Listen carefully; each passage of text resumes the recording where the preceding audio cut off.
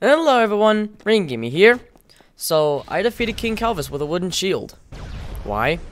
Simply because I was bored of killing him the normal way. So, here's all you need to know for this video. I used a wooden shield that is unenchanted and is level 50. And I have a power defense hybrid armor build to tank hits and do more damage. I'll be explaining his moveset at the end for those who want to be a god gamer when fighting King Calvus.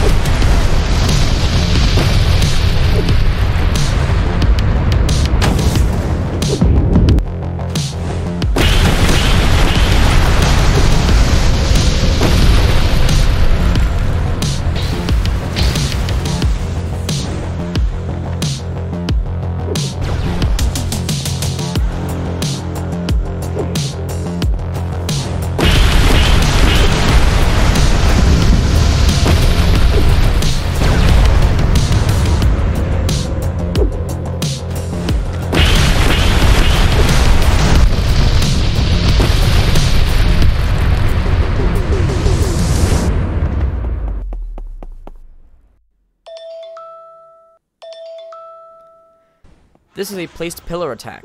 It is a very deadly move if he fully charges it, but it's pretty easy to avoid. He won't stop charging the ability until he, it's fully charged and uses the attack. But the player can cancel the charging by hitting Calvus with anything, range, melee, any source of damage, making the ability smaller and less damaging. You can also dodge the ability by dashing right after you hit him. The pillar stays in place once it's unleashed, so that's why you can dash out of it.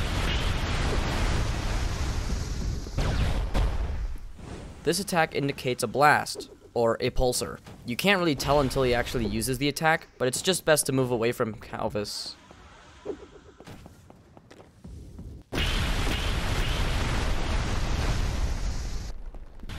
This ability is indicated by a stomp, and then it goes in one or two ways. After the stomp, Calvus can throw the trident or go for a grab. If he goes for a grab, you can simply dash out of the way, and he'll follow up with another stomp. If he lands the grab, just block. It'll make the attack less punishing. If he throws the trident, block or dodge it. Calvus will then jump in the air and follow up with four Aether Blasts, and then an aimed stomp towards the player, followed up by a kick. This attack is simple to dodge, and is a good opportunity to dish out any damage you, you can to Calvus. All of these abilities are enhanced in a way when Calvus is in his second phase.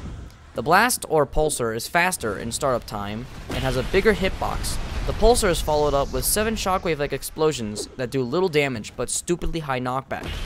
The Stomp combo ability, or whatever that's called, is enhanced. The Grab is followed up by a Tempest ability instead of a Stomp. The Trident throw is replaced with a giant Aether Beam, a barrage of blasts that's basically equ equivalent to a machine gun, and then an aimed stomping kick. Calvus also shoots Aether Beams at random.